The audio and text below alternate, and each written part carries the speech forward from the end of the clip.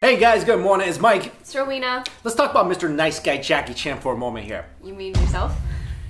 Okay, I do admit, I I, I see, Resembles. I've seen some Jackie Chan pictures, and I'm like, that that does kind of look like me. That could be me. Right, and like like this this one right here that um, I'm pointing to. Anyway, um, so although we sort of resemble each other, what about our physique? No. No, I think you're more I'm buffer than him. like a Yeah, he's, he Tank. probably still whip me though. I don't know. Uh, Probably. Did you know he could like crack walnuts with his fingers? yeah.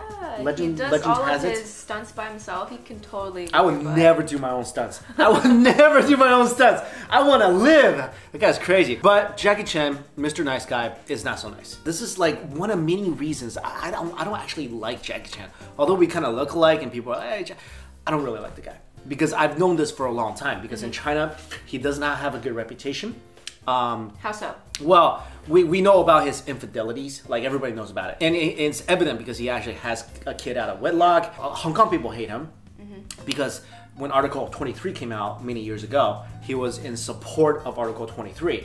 So he was he turned his back on the on the Hong Kong uh, people. Yeah. And basically Article 23 is China wants to Basic- take back Hong Kong. Well, not just take back because it is back, Yeah. but it's actually basically uh, China wanted to get rid of democracy in Hong Kong Mm-hmm. and to just uh, Implement their own government officials. Exactly. Jackie Chan turned his back on the uh, Hong Kong people then, and then there was a statement. I think this was uh, five six years ago where he basically came out and said, "We'll try to find this for you. The Chinese people cannot think for themselves. Should not be think for themselves because they cannot." which is ridiculous. So everyone kind of knows that he, he's kind of become the, the propaganda arm of Beijing, the, the, the communist government. He's not you know shy about it because he really that's it's, it's really clear where he stands. So for all those reasons, I do not like the guy. And today, even let's add another reason to that list. He basically came out and, and said what about his wife? He said something along the lines of, you know, I the only reason why we got married was because I got her pregnant. Yeah. And I kind of felt like I was obligated to get married to Right. her. And it was long ago that, you know, my feelings for her and ro- our romantic feelings have long It's it's done, evaporated. and they're still married. yeah. And it's They been have a like kid. they have a kid, JC. who- 35 years of marriage. Yeah, turned out to be a total disappointment. That guy did. Couple of things. Um, I, I'm no PR expert. Okay, I'm, I'm not. I don't know. I, I say some stupid things in my videos. And, you know, I, I say some stupid things. I wear some stupid things. I don't know. Even me, I would be like, yo, yo, Jackie Chan, man. Maybe you shouldn't go on go in public and just be like, yeah, I didn't really, I never wanted to marry my wife. I was forced to. Yeah. I mean, is that is that good for anything? Like, are you I plugging a movie? It's one thing to be honest, but to actually say that about your wife and your family, Yeah. who you're still with and Yeah. who you're still very much a part of. Yeah. Well, it's like I don't get why anyone in their right mind would want to do that. Are you like, are you not ever seeing her again? Because this sounds like something you say when you're like, your relationship is done. Yeah. And you're like, yeah, we got divorced because I felt really forced to. Okay. Even then, I wouldn't advise for uh, uh, for it because that just makes you sound like a total, you know, jerk. I can see that happening if like, okay, you guys are divorced. Ten years later, people are like, oh, so what really happened? Yeah. Yeah, we were kind of forced into it. All right, I understand. You're still with the woman. Is she cooking you dinner tonight? Yo, I would lace that dinner with at least some, you know, some saliva. I'd be, I'd be serving him like a, like a snot cha shell noodles, something. When I first read this article, I thought it was, you know, it's like arranged marriages for actors for publicity. So when I first read the title of this article, I was like, oh, maybe he was forced to marry someone he didn't really want to, but it was because of PR, because, you know, they're both stars in Taiwan and China, whatever.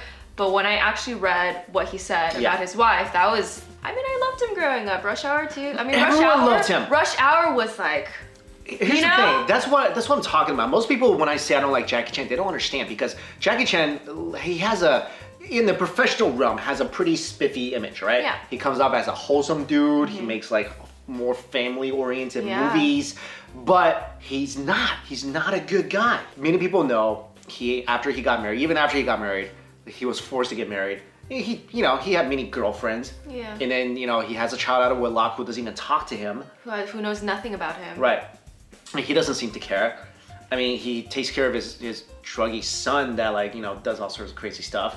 But Caught with like 100 grams of marijuana. yeah, I mean, it's that guy's that guy's like like a train wreck on, on his own. And, and so I'm just saying like this is there's just something about uh, the image that he's kind of portraying, but that's not who he really is. And this story is, is one more piece of evidence against that. So count me out as a Jackie Chan fan. Um, I mean, I've always been out as a Jackie. I, mean, I was never a Jackie Chan fan, but because we have the, ugh, the stupid resemblance thing. Like I can't ever shake that thing. Ugh. Every single video. Hey, you kind of look like that guy from that one movie. you know, you know, you know. My favorite joke was people people said that to me. They're like, "Yeah, hey, you look like that." I'm like, Chris Tucker. you mean that guy from Rush Hour. Chris Tucker? You know that dude?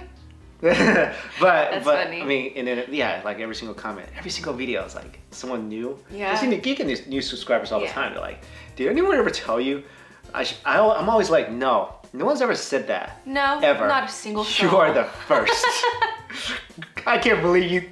You noticed that? Man, no one's ever said that to me. Let us know what you guys think. Are you a fan? Are you not a fan? Did the story change your perception of Jackie Chan? I'm making a video. I'm gonna make a video on another channel talking about all the crazy things Jackie has done. I'm gonna do it because this guy. I mean, we look like each other, I guess. So I have a responsibility. No, just kidding. all right, guys. Thanks for watching. See ya.